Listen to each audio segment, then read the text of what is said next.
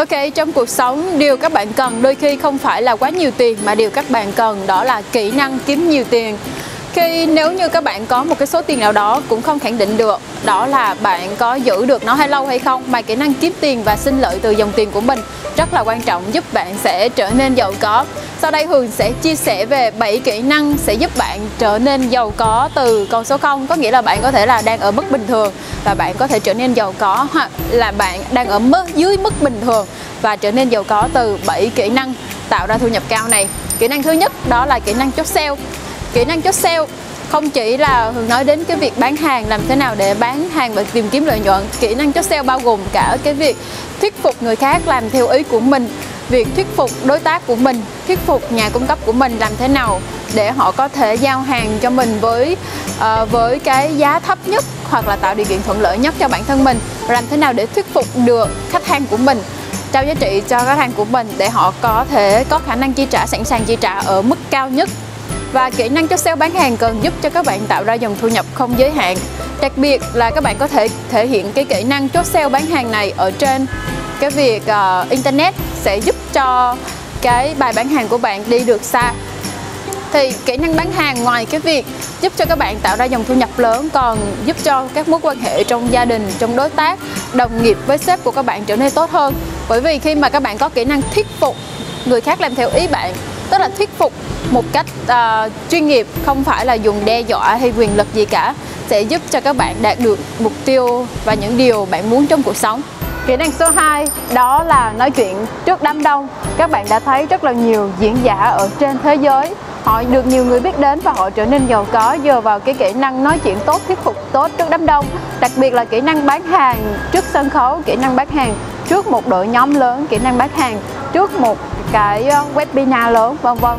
Kỹ năng nói chuyện trước đám đông sẽ giúp cho các bạn dễ dàng tiếp cận được lượng khách hàng lớn cũng như dễ dàng tham gia các sự kiện lớn. Kỹ năng nói chuyện đám đông đã giúp cho rất là nhiều người ở trên thế giới trở nên giàu có như Tony Robbins hay Russell Brunson Dan Lok vân vân. Ở Việt Nam thì các bạn thấy rồi đó có rất là nhiều diễn giả lớn như là thầy Phạm Thành Long, thầy Phạm Ngọc Anh thầy Vas từ Singapore, vân vân. Ngoài ra cái việc kỹ năng nói chuyện trước đám đông không cần các bạn cần quá cầu kỳ trở nên trở thành một cái chuyện diễn giả lớn, mà các bạn có thể là đào tạo training đội nhóm của các bạn. Đội nhóm của các bạn càng lớn, kỹ năng của các bạn càng phải lên.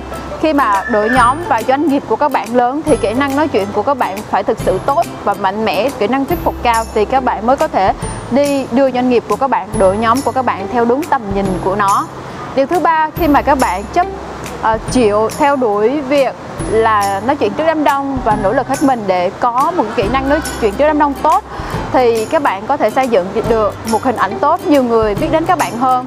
À, và đồng thời khi mà các bạn học được những kỹ năng nói chuyện trước đám đông thì bạn có thể đưa sản phẩm dịch vụ của các bạn đến khách hàng nhiều hơn tự tin hơn.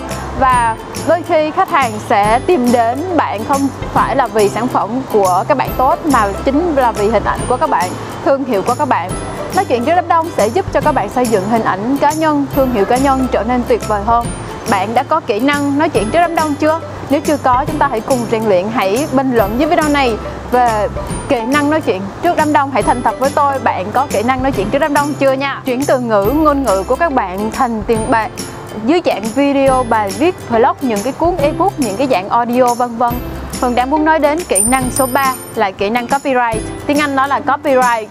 Sẽ giúp cho các bạn có thể tạo ra dòng thu nhập gọi là một cái kỹ năng tay không bắt giặc. Có thể giúp cho các bạn tạo ra dòng thu nhập rất là lớn từ con số 0 từ cái việc uh, viết bài cho chính bạn hoặc viết bài cho người khác.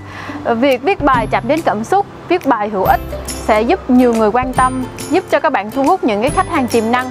Hoặc là có thể bán được đơn hàng ngay tại lúc đó mà không chỉ các bạn thể hiện cái nội dung này dưới dạng bài viết mà còn dưới dạng video, audio, ebook, blog vân vân. Thì với sự phát triển của internet ngày nay thì các bài viết của các bạn có thể được truyền ờ, được truyền bá khắp nơi, được quảng bá khắp nơi, có thể là trong nước tỉnh này từ Nam ra Bắc hoặc là toàn cầu ở những quốc gia này từ châu Á đến châu Âu vân vân. Ở những nơi nào có internet thì cái bài viết, nội dung của các bạn có thể được truyền tải đến. Như vậy cái kỹ năng viết bài cực kỳ quan trọng có thể giúp cho các bạn tạo ra dòng thu nhập rất là lớn. Cái bạn đã có kỹ năng copyright chưa? Hãy comment, hãy bình luận dưới nếu các bạn thắc mắc về copyright. Kỹ năng số 4, kỹ năng lãnh đạo.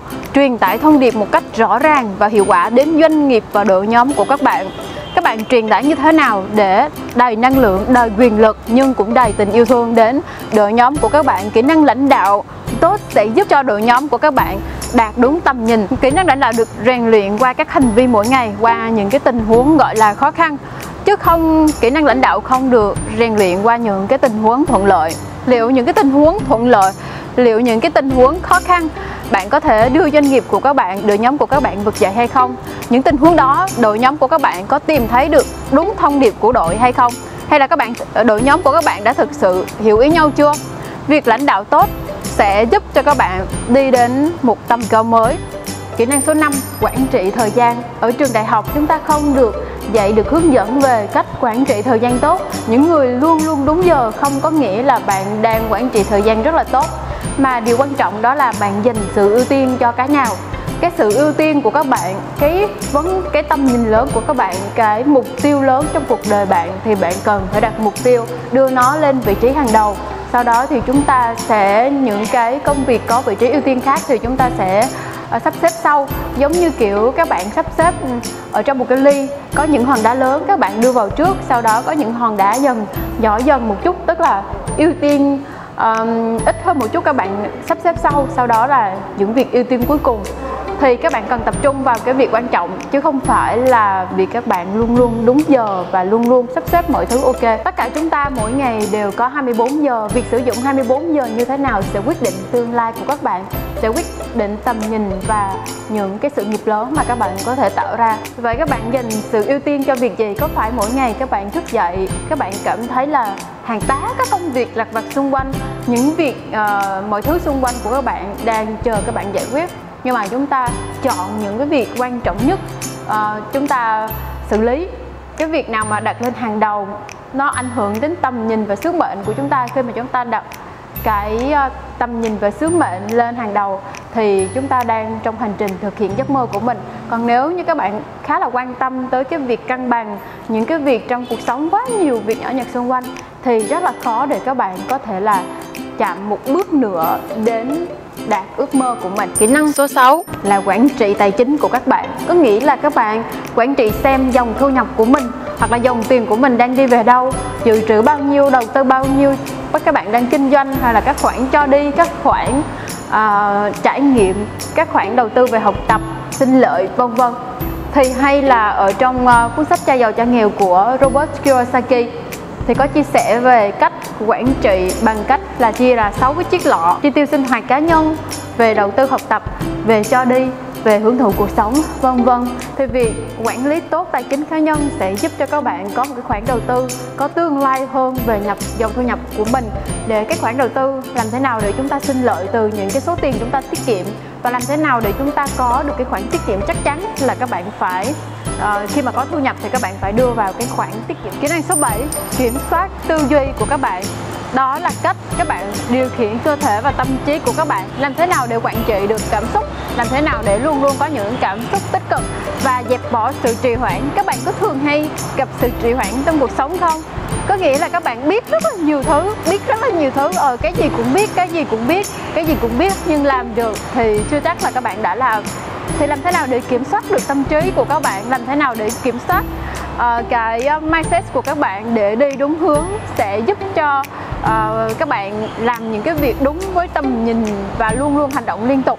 Có một số bạn thì học hỏi liên tục học hỏi liên tục nhưng mà cái hành động thì quá ít. Cũng có một số hành động quá nhiều nhưng mà lại hạn chế việc học hỏi. Làm thế nào để chúng ta cân bằng giữa cuộc sống? Tức là chúng ta thay vì chúng ta uh, quá làm cái gì đó quá nhiều thì cân bằng giữa việc học và làm để doanh nghiệp sự nghiệp và đội nhóm của các bạn phát triển mạnh hơn. Tư duy rất là quan trọng tư duy làm giàu khác với tư duy kiếm tiền nha các bạn. Các bạn kiếm tiền không có nghĩa là các bạn sẽ trở nên giàu có. Như vậy tư duy làm giàu có nghĩa là các bạn uh, làm thế nào để cái dòng thu nhập của chúng ta được hoặc tạo sinh ra một cách tự động và về lâu về dài về tương lai chúng ta không có phụ thuộc vào doanh nghiệp của mình nữa thì đó mới giúp cho các bạn tạo ra dòng thu nhập không giới hạn. Còn nếu công việc của các bạn đang có thu nhập cao nhưng các bạn phải gắn bó với công việc đó cả đời. Nếu các bạn rời đi, nó không thể vận hành nữa, nó không thể mang lại dòng thu nhập cho các bạn đều đặn nữa. Thì các bạn còn phải xem lại cái nguồn thu nhập của bản thân mình. Làm thế nào để kiểm soát tốt hơn? Làm thế nào để đưa nó vận hành một cách tốt hơn? Ok, mời các bạn đăng ký ngay vào kênh youtube của Hường để nhận thêm nhiều bài học chia sẻ có giá trị khác nữa. Đăng ký ngay và nhấn vào chuông thông báo kế bên. Ấy cái chuông thông báo, cái nút subscribe màu đỏ và cái chuông thông báo kế bên cạnh để nhận nhiều video chia sẻ mới nhất của Hường về Affiliate Marketing và về làm thế nào để trở nên thành công và giàu có.